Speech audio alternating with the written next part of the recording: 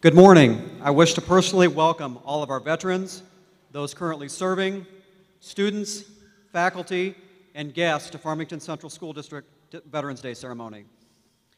I also wish to personally welcome Mr. Tuffy Bowen for coming in today. Mr. Bowen served as a first lieutenant in the U.S. Army Air Forces during World War II and later served as a coach, teacher, mentor, and administrator at Farmington for many years and has made a lasting impact on the Farmington, Farmington community. Sir, welcome back to Farmington Central, and we are honored to have you with us today.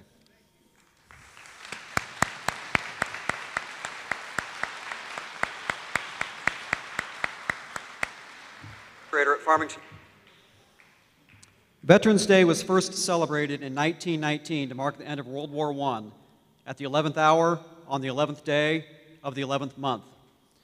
In 1926 and 1938, Congress approved resolutions authorizing November 11th as a national holiday, owing homage and respect for veterans of all branches, conflicts, and periods served. Today, we celebrate the many personal sacrifices those in our midst have made to the betterment and protection of the freedoms that we all hold dear. On that note, please silence your cell phones and rise for the posting of the colors and the playing of our national anthem.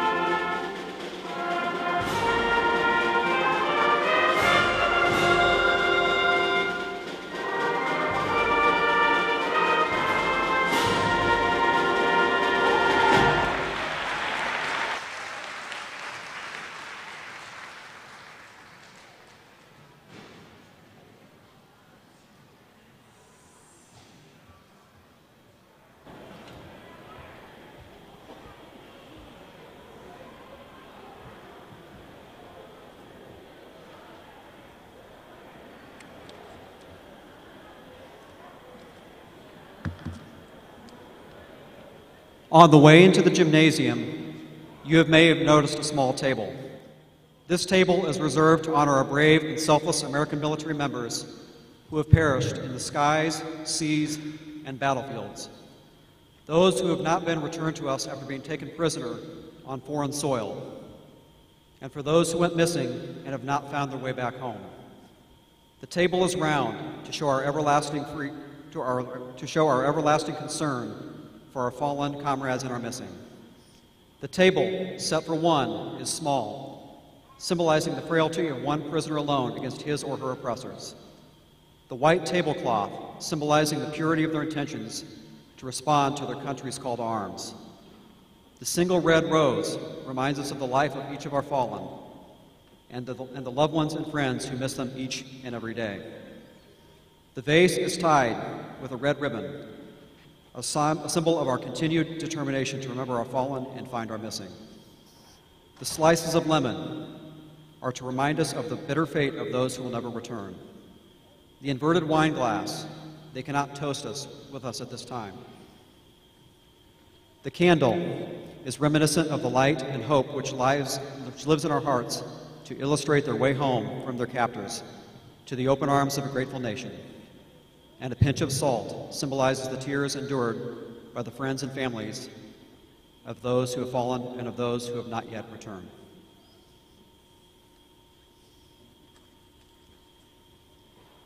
It is my esteemed privilege to introduce our guest speaker for the 2021 Veterans Day ceremony, Colonel Dan McDonough. Colonel McDonough is the commander of the 182nd Airlift Wing located in Peoria, Illinois. He is responsible for the Wing's 1,200 traditional and full-time Illinois Air National Guardsmen tasked with maintaining and operating the C-1, the C-130 fleet, as well as providing special warfare command and control capability. Additionally, he assures all assigned units are able to fill their state and federal missions as directed by the state of Illinois and the U.S. Department of Defense. Colonel McDonough received a Bachelor of Science degree in Aviation Administration from Indiana State University and earned his Line Officer's Commission through the Air National Guard Academy of Military Science. Colonel McDonough has amassed over 5,600 flight hours across the OA 37 Dragonfly, the F 16 Fighting Falcon, and C 130 Hercules. He has deployed over nine times in support of operations in Iraq and Afghanistan. Colonel McDonough resides in the Peoria area with his wife and is an active participant in many organizations in the greater Peoria community. Ladies and gentlemen, I present to you Colonel Dan McDonough, Commander, 182nd Airlift Wing.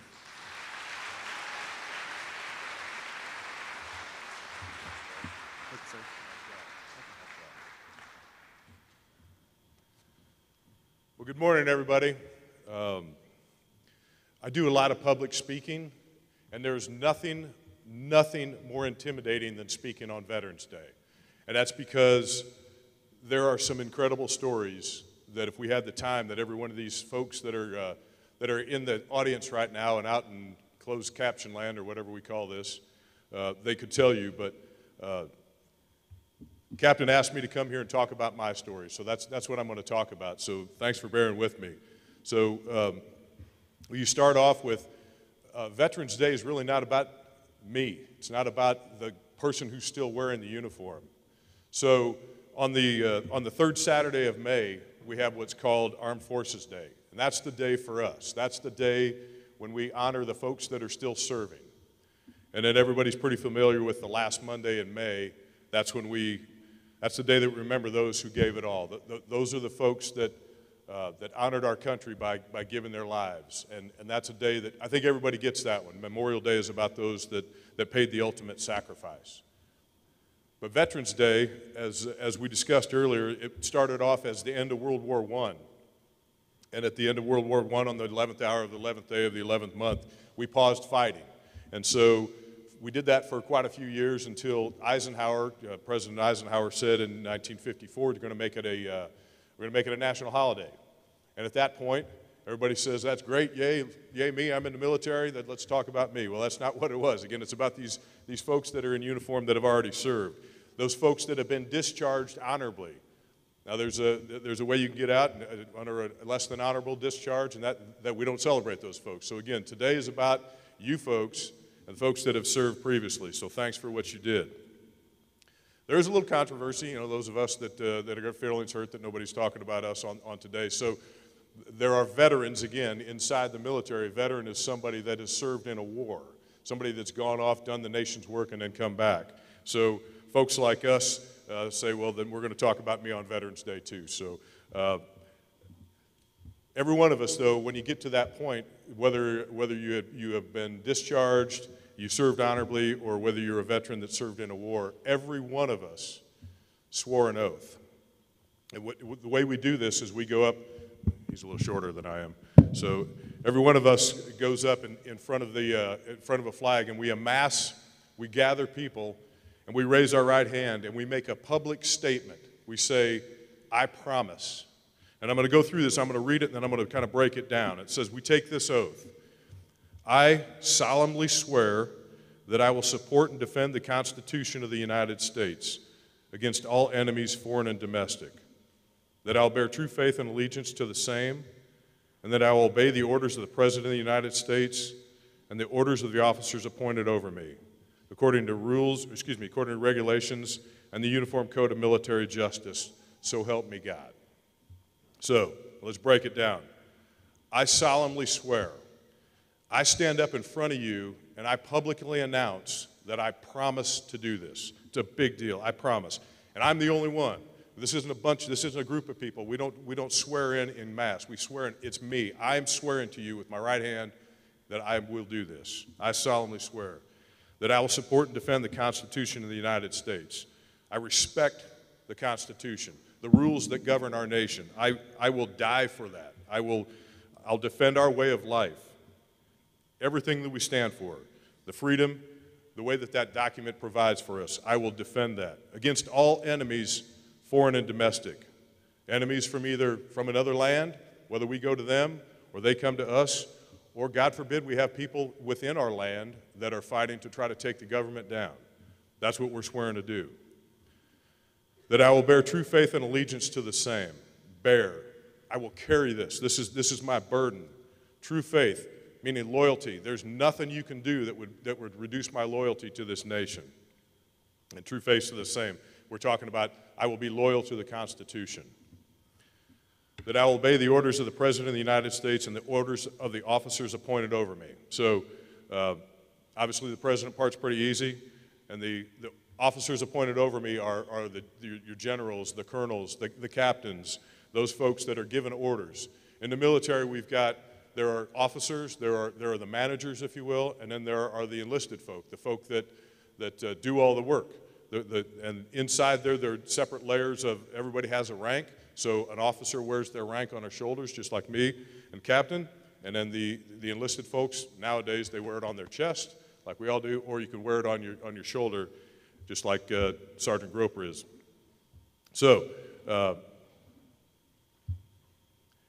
and then, so we say, we'll, we'll, we'll obey the orders of the President of the United States and the orders of the officers appointed over me according to regulations, according to the rules. We're going we're to live by the rules.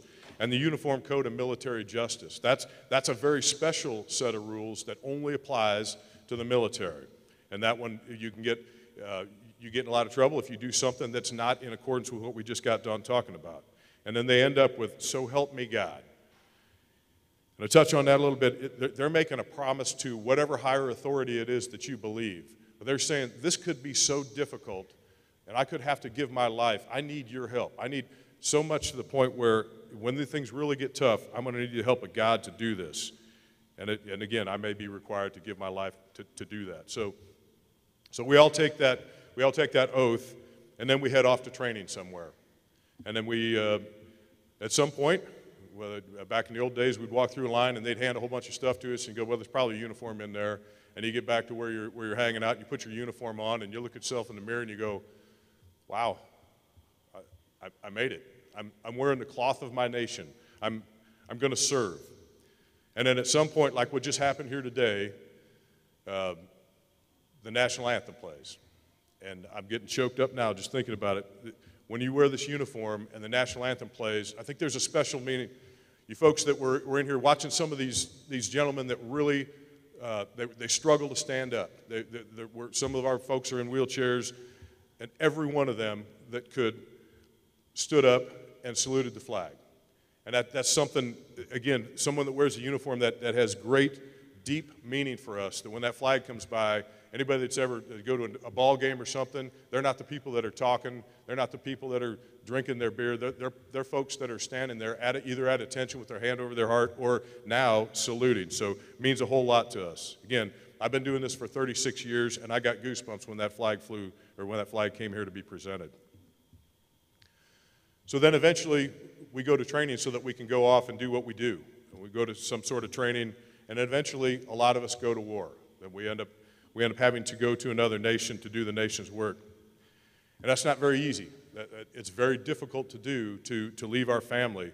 But for us, that's what we signed up for. We, we bought off on this, but maybe not our wives and our children and our, our mothers and fathers. Those, so it's not very easy for them. And uh, we're over there, and again, I don't want to say it's easy for us, but we know our mission. We, we know where we're going to sleep. We know that we are either, uh, we know when we're in danger and when we're not. But our family back home doesn't. They're just worried about us all the time. And uh, they're worried we're going to get hurt. So, a quick story I left, uh, I, have left my, my wife and kids nine times. And when, when the kids are young, it's really easy because they don't know any better. And then as they got older and older, it became more difficult for them. And because we've done this so much, uh, we never really paid that much attention. So my daughter, who was, at the time was 10, fifth grade, um, she cried every night that she went to bed. And, and, you know, with having a cool dad like me, that's pretty understandable that I wouldn't. No, I'm just kidding. Uh, but so my wife said, uh, well, Daddy's going to be okay. Don't, don't worry about that. And, you know, she kind of, things had calmed down a little bit. And then she continued to cry every night. And so finally, after, after I'd been gone for about three months, she said, Is, is, is Daddy going to is Daddy going to come back? Is he, is he, is he going to die?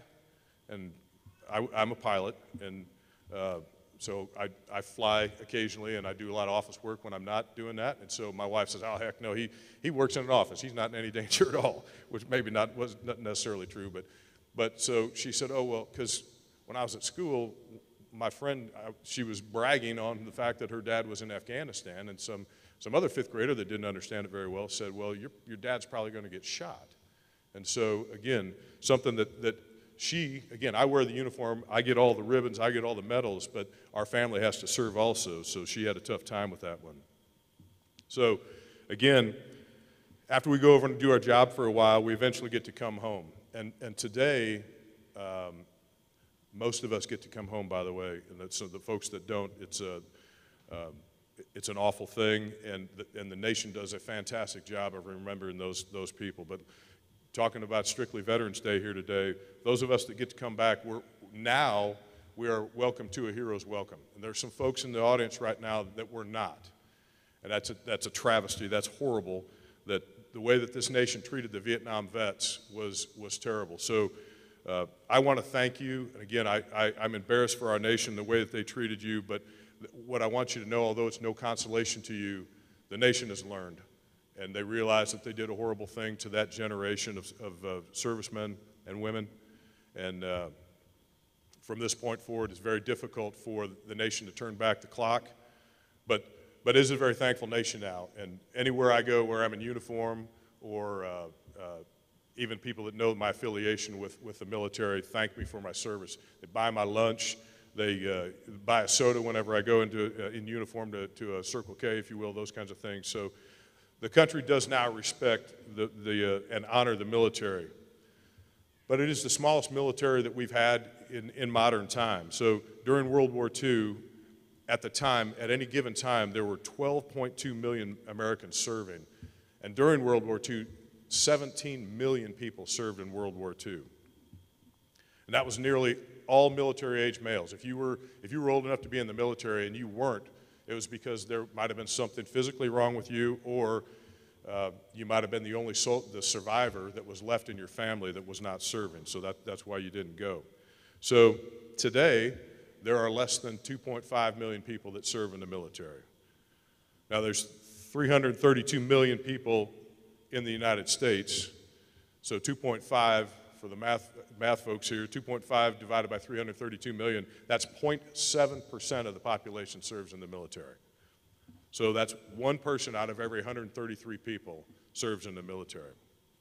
So Veterans Day is a day to remember that freedom isn't free.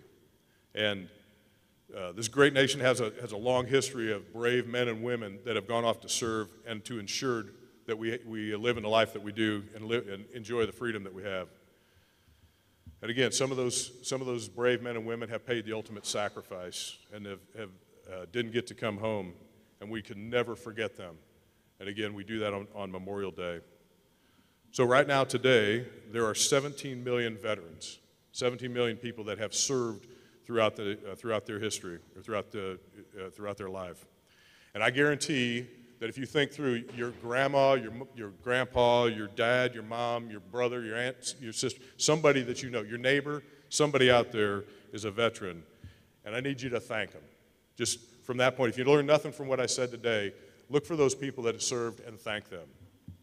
So, and the reason is every one of those people served in hopes that this generation would be the last one that had to serve and hoping that, that we could solve all the problems and uh, stop all the wars.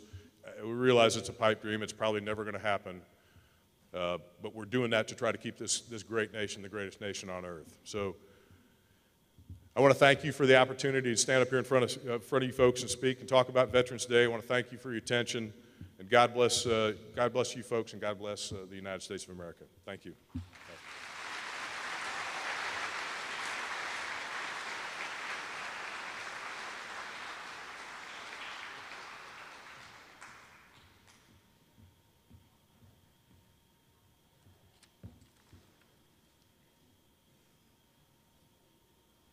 Again, thank you, Colonel McDonough, for the uh, uh, very nice words and encouraging words.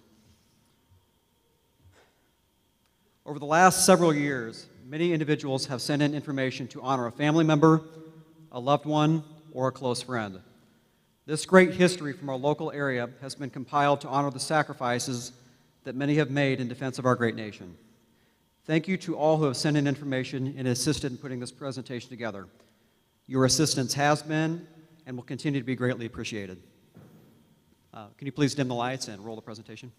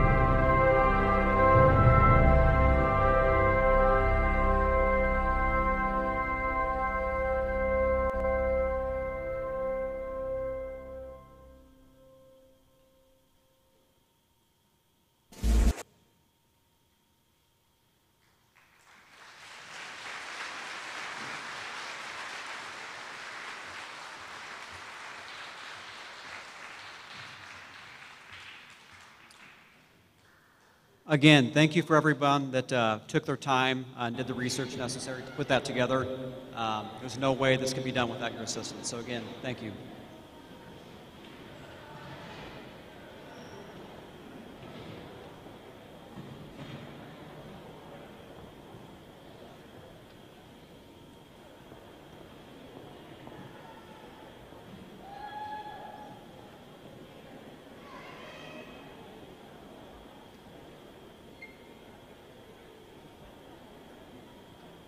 At this time, the high school chorus, led by Mr. Aaron Ganschow, will be leading all of us in the Armed Forces medley.